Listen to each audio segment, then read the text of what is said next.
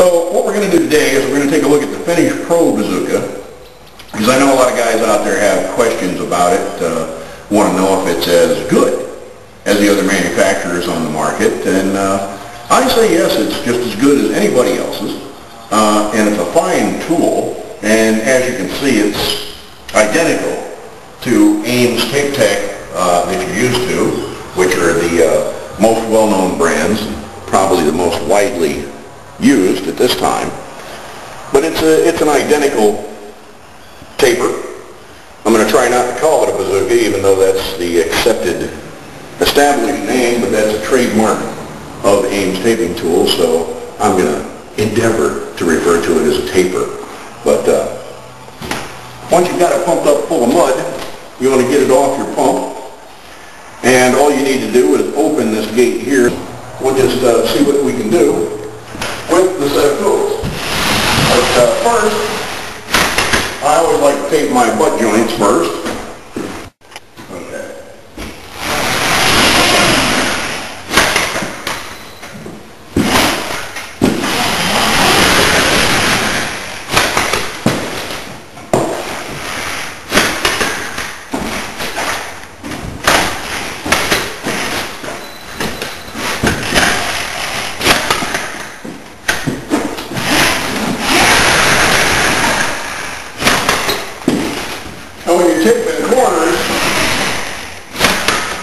try to put a good crease in. You're going to do that at the bottom when you start. What you want to do is lower the back of the gun a little bit and get the head up high quickly. That way, you the creases employed pretty tightly. Because this bottom, the bottom corners is where you will have trouble with the roller rolling the tape out of the corner if it isn't creased well. And you just lower the back end of the bazooka as you come up with the head, how to get the creaser in there nice and snug.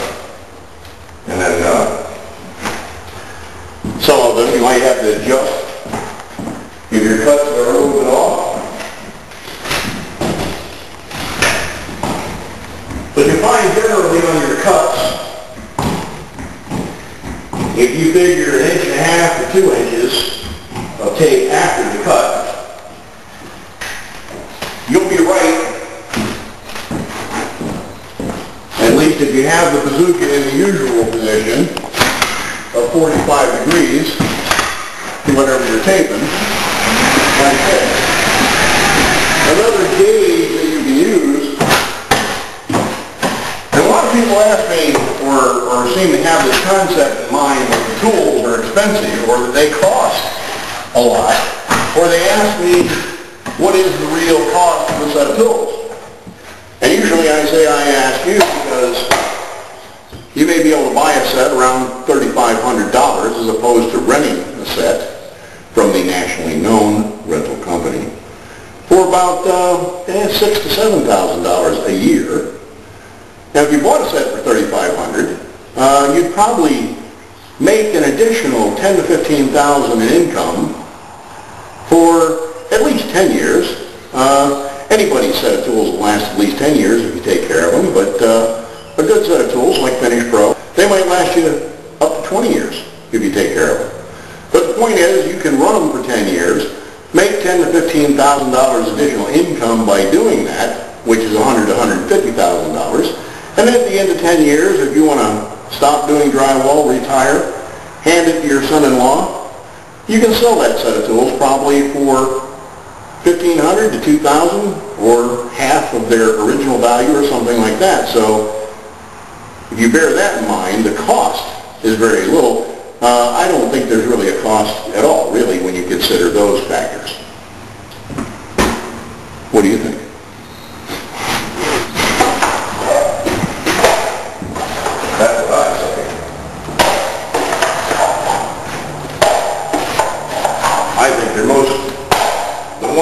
inexpensive tool for any trade.